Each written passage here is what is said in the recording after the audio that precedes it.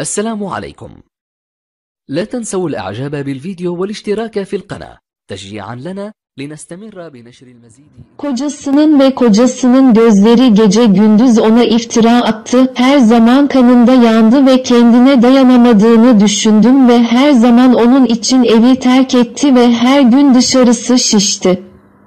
Ve işinden gelen her şey, gevşettiğiniz ve soğuttuğunuz şey yerine, Petzey'de onları tekrar onların üstünde ve sabah işe gitmeye geldiğinde bile, onun için üzülmeli ve tekrar endişesini taşımalı ve ona istediğini ve istediğini söyle ve geldiğinde cevap vermeyi unutma. Ve gelmeden önce beni telefonla aramaya devam et. Öğrencilerimizi görmek için ve UD en iyi gözleri mamada tuttu ve Seyp mamanın parasını tuttu. Çünkü annem çok yanımızda durdu. Madam spiritüelin basit, her şeye gücü yeten çalışan kocasıyla olan tüm davranışlarıdır.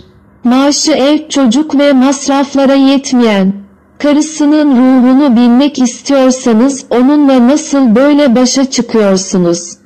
Neden çalışıyor ve onunla nasıl başa çıkıyorum? Bana destek ol bilek ve kanala abone ol. Madam Ruhiya, basit, aşırı güçlü bir çalışan olan kocasıyla her zaman tarzı bu. Ve çaresizler. Diğerinde, izin verildikten sonra susuz kaldı ve iki standarda boğuldu. Ve hayatından sıkıldı ve maneviyatından sıkıldı. Onu boşadı, onu boşadı ve onu ve çocukları fırlattı. Ve ruhu çığlık attı ve seslendirdi ve yüzünü tokatladı ve onu ifşa etti ve tüm insanlar kocasının onu boşadığını ve haksız olmadığını ve kocasının bir hatadan başka bir şey olmadığını ve onun bir deniz kızı ve bir deniz kızı olduğunu ve satıcı olduğunu biliyorlardı. Bir harem ve kadınlar ve onun masum olduğunu ve kocası hakkında tamamen hiçbir şeyim olmadığını, Buradaki sorun kocasının ondan önce iki kez boşanmış olması ve üçüncü kez olmasıydı. Ve kocasının onu tekrar yanılmazlığına geri götürmesi için bir analist çifti olmalı ve kararlı koca, manevi bir kadınla evlenmeli ve onunla yasal bir ilişki kurmalı ve onunla evliliği tamamlamalıdır. Bacon bu onun hakkı çünkü yasal ve yasal olarak karısı. Yani madam, evini kendi elleriyle yıkıp çocuklarını harap eden, babaları sağ ve sağ olduğu halde onlara kötü muamele ve kötü muameleden dolayı babalarından başka bir üvey baba getiren manevi bir kadındır. Kocasının, kocası basit bir çalışan olmasına rağmen ED durumu, ancak ona kötü davrandı ve altı ev bilgesi ve altı ev yerine evin yönetimine sahip. Altı vahşiydi. Altı evdi ve hiçbir sorunu yoktu ve kocasına karşı hiçbir takdiri ve ona saygısı yoktu.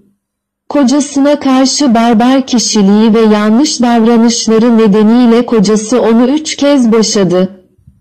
Birbirlerine aşık olmalarına rağmen ve bizim ruhani gibi çalışmamıza gerek yok. Çünkü o bilinçsiz bir insandır ve insanı bütün dertleri, dertleri ve üslubundan dolayı kocasının hastalığını, şeker hastalığını, gözündeki beyazlığı, tansiyonu, sırtını büküklüğünü, bacaklarında varisli damarlarını ziyaret etti.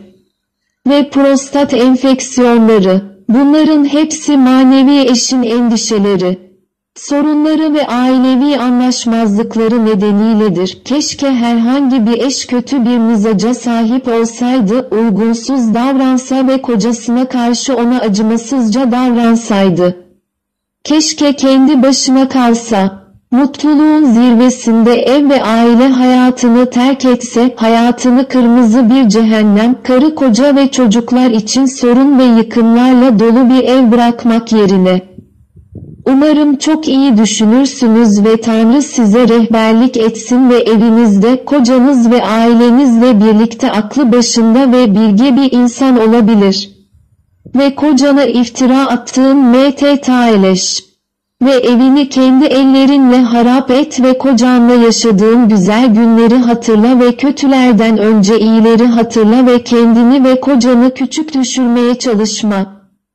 Ve her zaman onun günlerini mutlu et ve onun için senden ne istiyorsa yap ve sabah ona söyle. Günaydın aşkım ona kahvaltı hazırla orucunu beraber aç. Ve akşam ona iyi geceler aşkım de. Rahatlayın ve günün endişelerini unutması için onu kollarınıza koyun ve ertesi sabah ikiniz için de aydınlık olsun. Bunu Madam Ruhiye Doğal değilmiş gibi yapmayın ve videoyu beğendiyseniz bileği destekleyin, kanala abone olun ve herkes için zili çalın. Ve yaklaşan videolar ve gerçeklikten evlilik olayları ile beni bekleyin. Ve ilk evden özel hikayeler Tota Rafat. Esselamu Aleyküm. لا تنسوا الإعجاب بالفيديو والاشتراك في القناة. تشجيعا لنا لنستمر بنشر المزيد